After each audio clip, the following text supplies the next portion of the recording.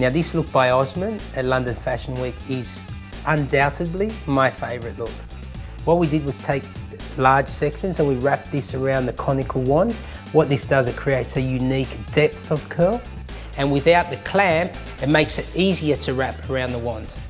An essential here is just following the steps. Very, very easy once you follow the steps. You very lightly brush through the hair just to bring all the hair together.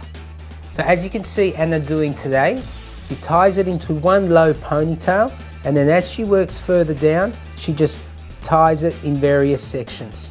What this does, this creates a little bit stronger wave and you'll see why in our finished look. At this point, we spray the hair to create hold. Using the cold setting of our dryer, we just dry this. As you can see Anna doing now, she lightly pulls the ties out, ever so gently, ensuring that we don't pull out the wave. Once the elastics have come out, you see this beautiful, even, strong wave. The idea is just to lightly spread and open this wave, lightly brush, and just finish with a little bit of spray. Glorious.